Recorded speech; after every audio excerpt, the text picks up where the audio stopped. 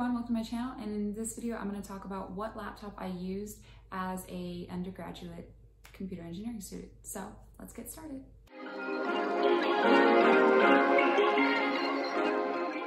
Alright, so I know that there's a lot of people who say, oh, you should get this laptop or that laptop or, you know, the MacBook Pro or Lenovo or HP or Dell, whatever um, and that the processors matter and you need to get like high resolution or you need to get touchscreen or uh, you got to get a big laptop, but no, you have to actually get a small one because you need to put it in your backpack.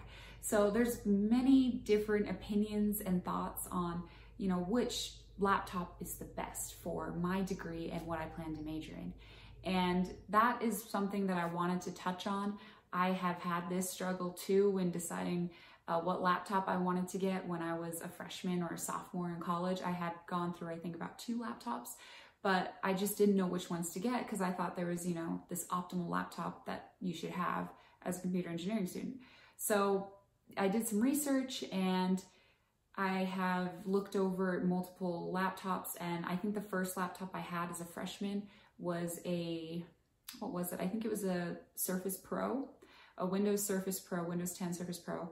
It was a very small laptop where you could have a. Um, I, I'll put it right here. It was a small laptop that was, it was a touchpad and I think there was a pen you could use and it was a, um, was a detachable um, keypad. I thought it was very handy. I used it for my notes, note taking. That was my goal is to just find something that will help me take notes and to go onto the internet and to have it light and small and very portable. So that's what I got and that was optimal for me at the time. However, that was at the time when I didn't know that I was going to be majoring in computer engineering. I was in STEM field major where I just um, was kind of exploring my options before I actually chose a definite, uh, a definite major.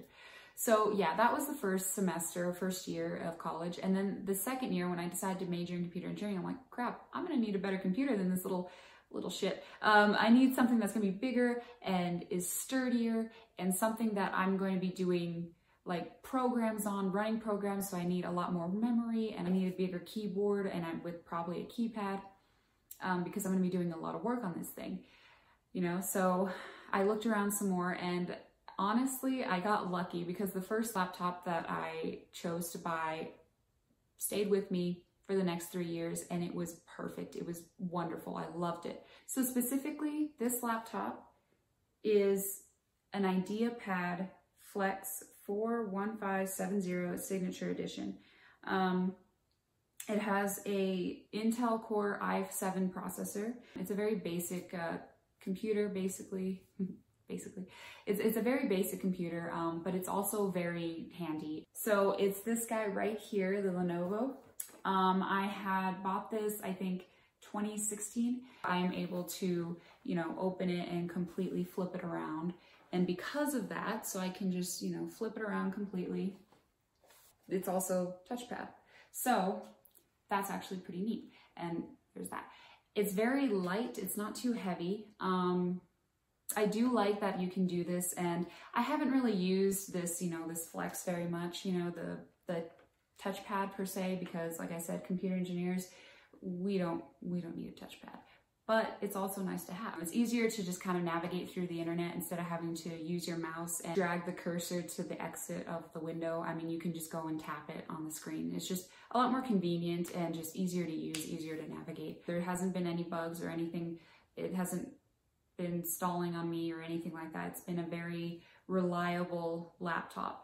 So I would suggest getting that if you're planning on majoring in any sort of like engineering. It's not just computer engineers if you're majoring in like electrical engineering, anything that involves um, the laptop a lot, I would I would get this computer because it's very efficient. I have liked it. I haven't had no problems with it. It's very light and it's big too. There's also a keypad. I have used that laptop and I'm going to continue using it until it dies on me because why fix what's not broken? Why go get another laptop when I'm perfectly fine with this one? So uh, yeah, there are other things like, I don't know, MacBook Air. I heard that that's a good one. I heard that's a really good laptop, uh, MacBook Pro. I, I don't know much about the Apple computers. If you like this video, please give it a thumbs up. And if you'd like to see anything else like this, um, please let me know in the comment section below. Thanks for watching. Bye.